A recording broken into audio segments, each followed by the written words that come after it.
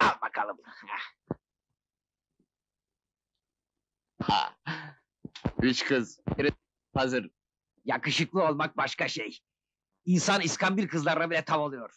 Dört kısa, şansa bak be. Kağıtlarında öbür kadınların da canları cehenneme. Bana tek kadın tav olsun yeter. Leyla Hanım tabii. Başka kim olacak ki?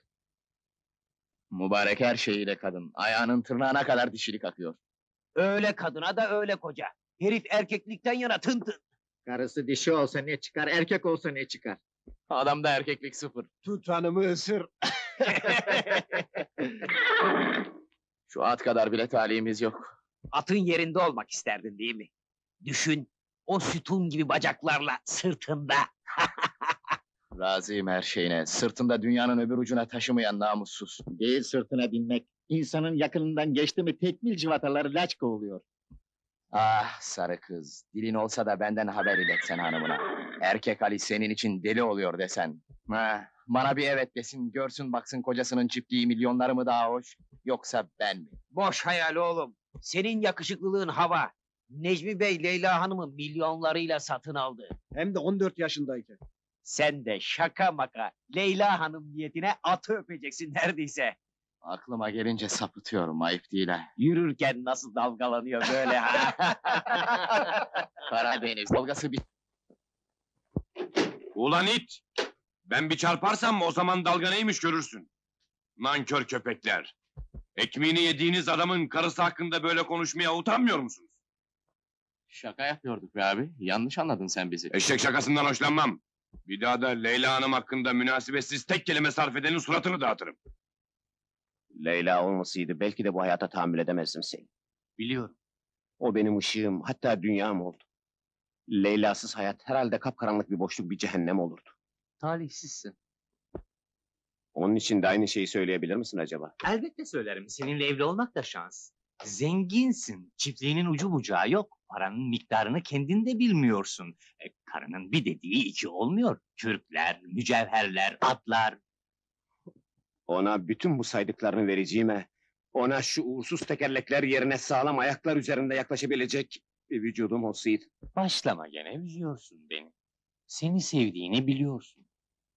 Servetim onun her istediğini almasına yetecek kadar çok ama ona sarılıp onu erkekçe ısıtamayacak kadar soğuk. Seni seviyor ya. Evet seviyor. Onu aldığımda çocuk sayılırdı da. Sevgiyi ben öğrettim ona ama gerektiği gibi değil kendi gücüme göre. Sana baktığı zaman gözleri ışıldıyor. Biliyorum bana aşık. Fakat hakiki aşk benim ona telkin ettiğim aşk. Kızcağız elimde şekilsiz bir hamur gibiydi. Ona dilediğim şekli verdim, olanca varlığımla yoğurdum. Arzuladığım kalıba soktum onu. Mühim olan senin telkin ettiğin şekilde sevmesi. Başka ne istiyorsun?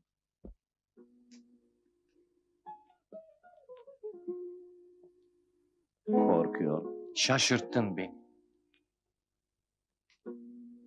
Ne diyeceğimi bilemiyorum.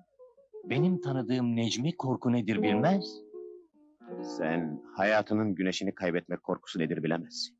Eskiden cesurdum. O lanet ulusalda beni sakat bırakan kahramanlık rolüm Sarhoşsun bu akşam. Hiç böyle görmemiştim seni. kimse görmedi. Göremezdi. Acı çektiğimi göstermek utandırıyor beni. Ben bir zamanların eli avuca sığmayan Necmisi, herkesin gıpta ettiği, yerinde olmak istediği adam bu duruma mı düşecekti? Söyle cevap ver bana. Ne diyeyim bilmem ki. Sana acıyorum de. Sana nasıl acıyabilirim? Arkadaşımsın. Temiz kalpliliğinden ve iyiliğinden yana eskiden beri hayranımdır sana. Ortak istemem Selim Bey. Necmiye kimse benim kadar hayran olamaz. Teşekkür ederim Leyla. Zaten kimsenin hayranlığı senin ufacık bir tebessümün kadar mesut edemez beni. Nereden de bulursun bu sözleri? Kelimeleri öyle ustalıkla kullanır ki konuştuklarını kaleme alsaydı büyük bir romancı olurdu. Selim Bey haklı Necmi. Herkesin beğendiği bir romancı olabilirdin. Benim herkesim sensin Leyla. Büyük bir romancı olmaktansa büyük bir aşık olmayı tercih ederim. Sen romanını yazacağın yerde yaşayan bir insansın. Öyleyim. Çünkü yaşadığım romanın kahramanı edebiyatın gelmiş geçmiş bütün kadınlarından daha güzel. Ah Necmi. Sen insanı sözlerinde sarhoş edersin. Sarhoş olmak istiyorum. Güzel. Yeryüzünde tek kıyak dalga vardır, o da sarhoş olmak. Ee, söyle bakalım ne var gene? Leyla bak şu ellerime. Adını bile anınca damarlarım çekiliyor. Kötü bir şey mi söyledi sana? Yo hayır sayar beni. Çok hürmeti vardır. Sonra bana kimse kötü davranamaz o çiftlikte. Her şeyi ben idare ediyorum ben. Leyla Hanım'ı da mı? Kocasını biliyorsun. Gülme be. Necmi Bey bir kadın için koltuktan sandalyeden farksız bir eşya. Eşya değil, banka cüzdanı. Kes dedim be. Kestik be.